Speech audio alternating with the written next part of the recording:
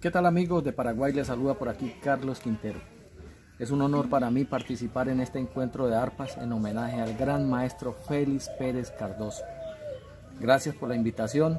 Quiero compartirles un tema del maestro Reinaldo Armas, su autoría, el arreglo musical del maestro José Archila. Se titula Tristeza en la Sabana. Saludos de por aquí desde el Casanare de los llanos inmensos de Colombia.